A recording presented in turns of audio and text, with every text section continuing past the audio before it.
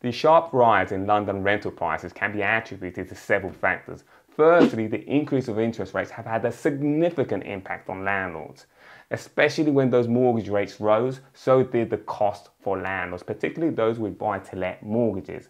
And landlords were forced to pass on these costs in the form of higher rents to tenants. Additionally, tax changes over the last few years and stricter regulations has made it less attractive to landlords keeping their properties on the market, making the supply issue even worse. In fact, London rent has risen to a record high of £2,600.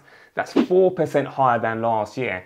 And although rental growth is starting to slow down from its 16% high of 2022, politicians are paying attention and they want to do something about the rent control in the city. For years now, the London Mayor Sadiq Khan has been keen to introduce rent controls in the capital with the aim of making renting more affordable for Londoners. Now that Labour's in power, the key question on everyone's mind is is rent control going to finally become a reality in London? And while Angela Rayner, Labour's deputy leader, recently blocked the mayor's plan to impose any type of rent control, the possibility of such measures can't be completely ruled out, especially with Labour still bringing out policies from the woodworks. In this video, we're going to look at the true drivers of London rent increases. We'll also look at Sadiq Khan's rent control and break that down for you. But also stay to the end because we're going to share with you how these rent controls have worked out in other parts of the world. Stay tuned. The London rental market is facing a severe imbalance of supply and demand, primarily because of the shrinking amount of properties coming out into the rental market. Now, this is due mainly because smaller landlords are exiting the market. As a result, the number of rental properties coming onto the market has significantly declined. Of course, competition between tenants is fierce, and with more properties being sold off and fewer landlords coming into the rental market, tenants are often forced to bid against each other, making the rental situation even worse. In fact, Starmer, part of the manifesto, was that they will bring an end to rental bidding wars. So institutional investors and build to rent developers are stepping in to fill in the gap left by private landlords. However, it's just not enough to meet the demand, at least for the short term. This ongoing reduction in supply continues to put upward pressure on rent, making affordable outreach to a lot of Londoners. On the demand side of London rental properties, London population growth has been fueled by natural increases, but also by immigration. And of course, this naturally increases rent. The city's population has grown by 2.2 million people in recent years, and a large portion of that is immigration. Now, of course, those new arrivals, when they first arrive, they want to perhaps rent for the first few years before they go on to buy a property. And this has put a strain on an already challenging rental market. So that surge in demand and shrinking supply has really created a perfect storm with population continuing to grow, even though that the growth of rental increase is starting to slow down, those rents are going to continue to be high as that population continues to be steady. I love interpreting data and yet I'm always curious about your views. Leave me a comment below. So how will the London Mayor Sadiq Khan's rent freeze even work? Well, landlords who are renting their properties will have a rent freeze, so not increase their rent for a defined period of time. Typically, this is going to be a year to two years. Now, for those tenancies that already exist, the rent will be frozen, and if renewing their contracts, will continue paying the same rent they were paying before the freeze was implemented.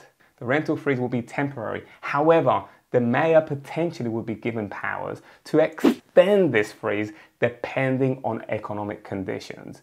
And the aim of this is to relieve renters, at least for the time being, until the Labour Party finds a long term strategy to resolve the rental crisis. And very likely going to enforce this by implementing further regulations ensuring that landlords comply. There might be certain exceptions, such as allowing for increase in rent to cover specific costs related to property improvements or repairs. These would need to be tightly controlled to prevent abuse. While the freeze would apply to existing tenancies, rent for new tenancies could still be determined by market conditions unless further regulations are introduced to control starting rents. Sadiq Khan's proposal for rent freeze is part of a broader strategy to make housing more affordable in London However, his proposal has been blocked by his own party making the implementation uncertain for now.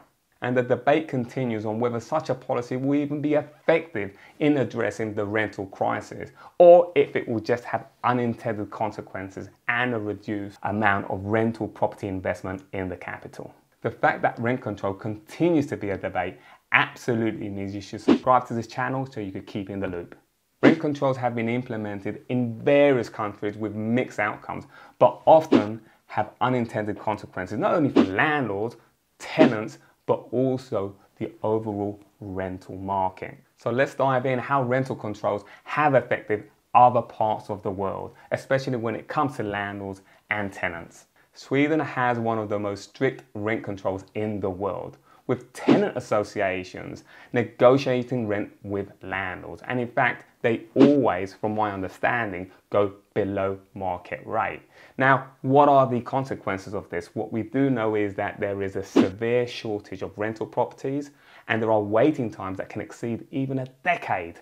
I know, that's crazy.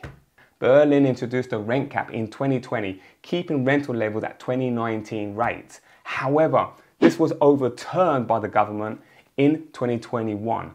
Now, what happened and the impact that happened during that period was that there was a significant reduction in rental properties as landlords withdrew their properties and converted them into other uses. Similar stories to this across the pond in the US will include cities like San Francisco and New York. So clearly demonstrating that any type of rent control will be have to be looked at very carefully in how it's implemented because it will have unintended consequences. To find out the truth why landlords are leaving London, make sure you check out my next video above and also the link is on the description. The root cause of the London rental crisis lies in the broader challenges that we have with housing shortage. I mean, the capital has consistently failed to meet its housing targets, with the number of new homes being built far lower than what's needed to accommodate the growing population in the city. Despite efforts of boosting constructions in London, issues like planning delays, high cost of construction, but also the lack of land is hindering the progress. So what we currently have is that lack of properties increasing rental prices. So building 1.5 million homes over the course of five years labour, good luck.